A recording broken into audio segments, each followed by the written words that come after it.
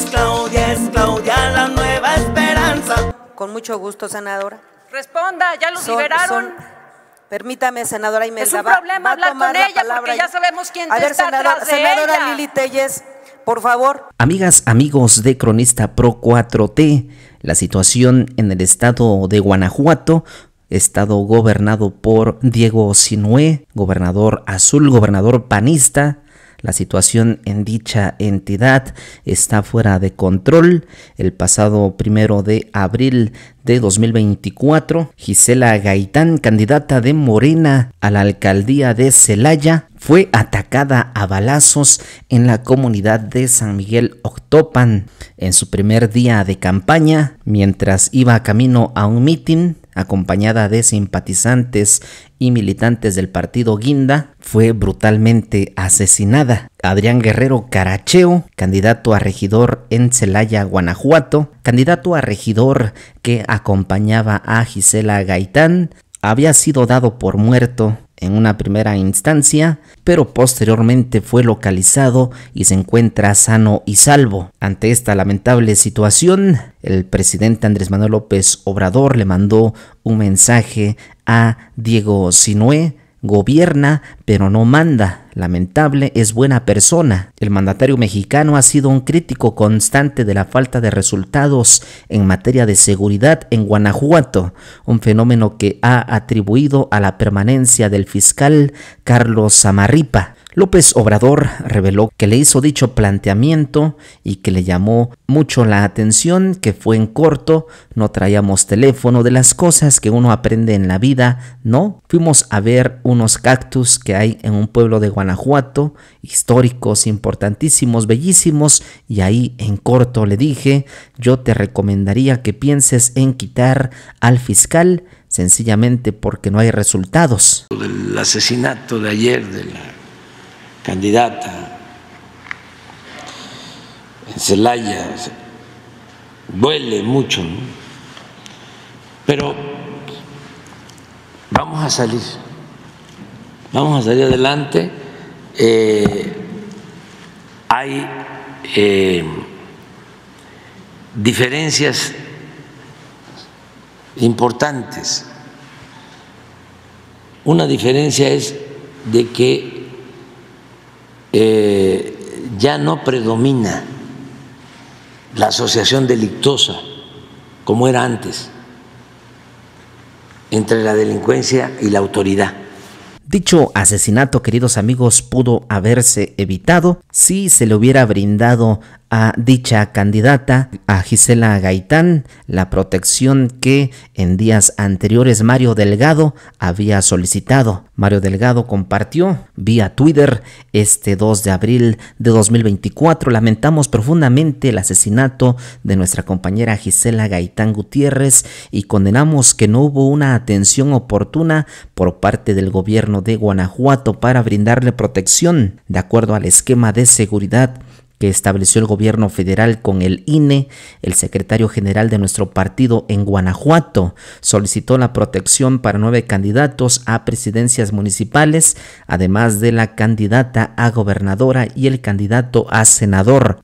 Compartió capturas de pantalla de el oficio del oficio con fecha 8 de marzo de 2024 dirigida a la licenciada Guadalupe Tadei Zavala, presidenta del Consejo General del INE. En la segunda hoja podemos apreciar el nombre de de ocho candidatos para quienes solicitan salvaguardar su integridad física. Vemos en la cuarta fila a Berta Gisela Gaitán Gutiérrez, participaba por el cargo a la presidencia municipal. La fecha inicial y final de la que se requiere el apoyo era del 29 de marzo y hasta el 3 de junio del 2024. Mario Delgado comentó posteriormente que el Instituto Electoral Local de dicho estado contestó que todavía no eran tiempos de campañas y que la protección de los candidatos locales se daría una vez que comenzara la campaña, lo que terminó en el desafortunado atentado en contra de nuestra compañera refiriéndose a Gisela Gaitán Gutiérrez. Sí, eh, pero queríamos eh, mencionarles pues, el lamentable asesinato de de nuestra María Zelaya, Gisela Gaitán, lamentamos profundamente este asesinato y pedimos, por supuesto, el esclarecimiento. Yo quisiera que lo decías. ¿Quién falló?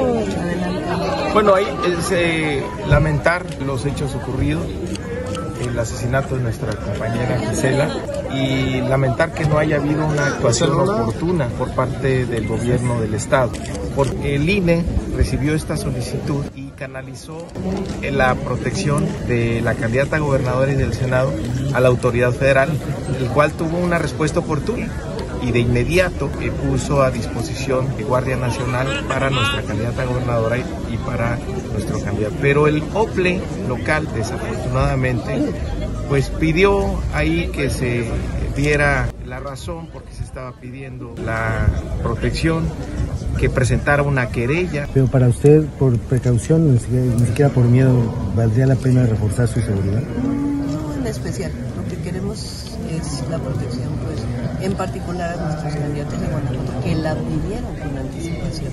Entonces es lo delicado de este asunto, que se solicitó la protección y ni el Instituto Electoral Local ni el gobierno del Estado. ¿Esto ha ocurrido en otros gobiernos de? No, ya vamos a, lo que vamos a hacer es un balance de dónde han solicitado nuestros candidatos y si están atendiendo esta solicitud y si hay alguna omisión, como en el caso de Guanajuato, pues le vamos a pedir al gobierno federal que nos apoye.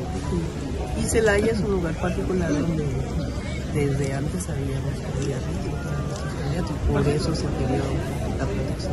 ¿Ya tiene programada visitas a estar? Sí, vamos a ir muy pronto. Gracias.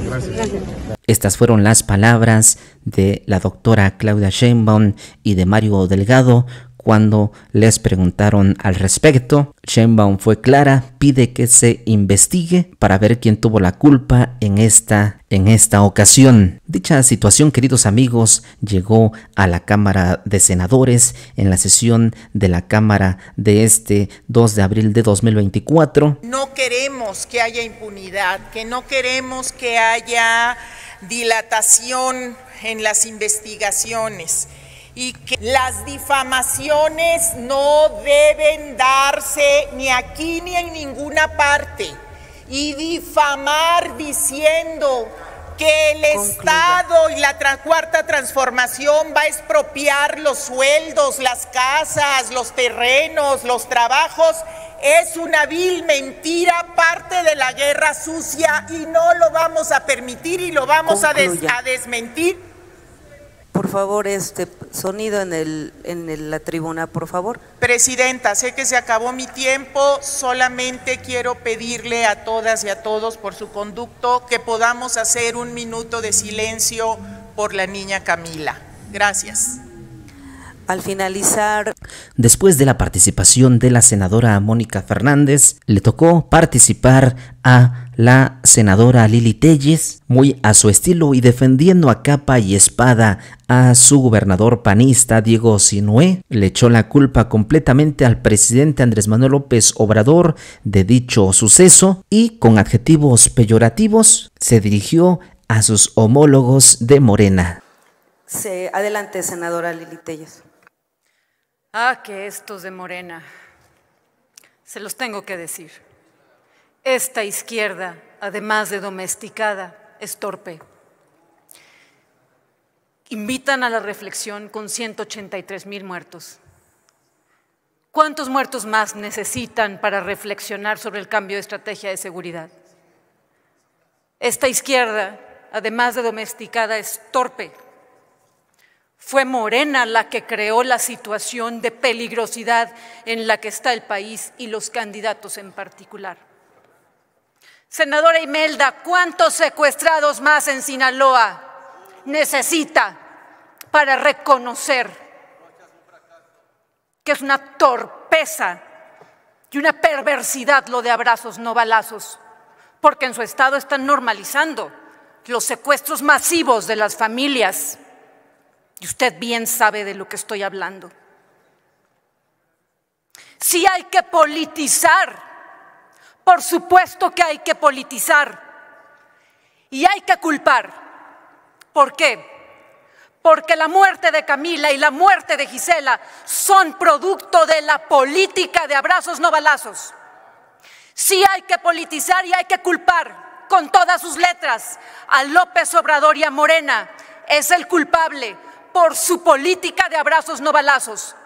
Más de 183 mil muertos y ustedes todavía quieren meternos a todos en el mismo saco. No, es culpa de Morena. ¿Cuántos muertos más necesita esta izquierda torpe y domesticada? Se concede, perdón, ¿con, qué objeto, senadora Imelda? Hasta un minuto, con mucho gusto, senadora. Responda, ya los liberaron. Permítame, senadora Imelda. Es un problema hablar con ella porque ya sabemos quién está atrás de senadora Lili Telles, por favor ha terminado su tiempo de utilizar la, palestra, pase a su lugar y no puede retar de esa manera grotesca y majadera cuando en el uso de la palabra se le ha terminado. La mesa directiva es la que lleva el orden de la Asamblea. Por lo tanto, se le concede hasta un minuto a la senadora Imelda Castro para que conteste por alusiones. Después de su participación, las y los senadores de Morena le propinaron tremenda paliza que hicieron que Lili Telles se ubicara en su lugar. Nadie más, nadie de su partido la defendió. Ella ni siquiera tuvo el valor de volver a solicitar el uso de la palabra. La mesa directiva es la que lleva el orden de la Asamblea. Por lo tanto, se le concede hasta un minuto a la senadora Imelda Castro para que conteste por alusiones. Gracias, Presidenta. Yo creo que es muy importante que la gente que nos está viendo y escuchando sepa que una cosa es que a los legisladores y las legisladoras no se les pueda reconvenir nada, pero eso es muy distinto a tener la lengua impune, a estar siempre gozando de la impunidad de su lengua. Quiero decirle que en lo que ella se refirió, senadora presidenta, compañeras y compañeros, porque tenemos un gobernador que no es como el de Guanajuato y porque la respuesta de las fuerzas federales y la coordinación institucional hizo que ese problema de las personas que fueron ausentes de sus casas o privadas de su libertad, como ella, la senadora gritona, quiera decirlo, fueron rescatadas gracias a la responsabilidad del gobernador Rubén Rocha Moya y del gobierno federal y no como los gobiernos panistas. Se concede el uso de la palabra a la senadora Rocío Adriana Abreu Artiñano del Grupo Parlamentario Morena hasta por dos minutos. Es simpático y qué ilógico ir a hablar y venir a ladrar aquí. Desgraciadamente lo que vemos, esto es reflejo muchas veces del crimen organizado. Y alguien que ha venido aquí a hablar del crimen organizado, se le ha denunciado públicamente porque su cuñado ha pagado su campaña con ayuda de financiamiento de recursos ilícitos. Y lo declaró el diario El Soberano de Sonora. Entonces, esas son las incongruencias que venimos a ver. Se declara dinero ilícito para campaña de una senadora gritona de esta tribuna. También tenemos otra incongruencia por un lado, se critica a la Guardia Nacional, quienes son efectivos que han dado su vida por este país, se les insulta, pero se pide que la proteja y a su familia. Que no todos somos ciudadanos, que no todos pagamos impuestos, por lo menos yo sí, que no todos tenemos derecho a ser defendidos y tenemos que leer la ley. Vuelvo a decir, son ignorantes. El tema de la Guardia Nacional es un tema que es solicitado por los gobernadores. Hay que venir a leer, hay que subir documentados.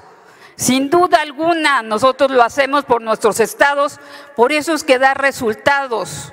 Pero cuando nada más se viene a porrear la lengua sin ni siquiera tener idea de lo que se habla.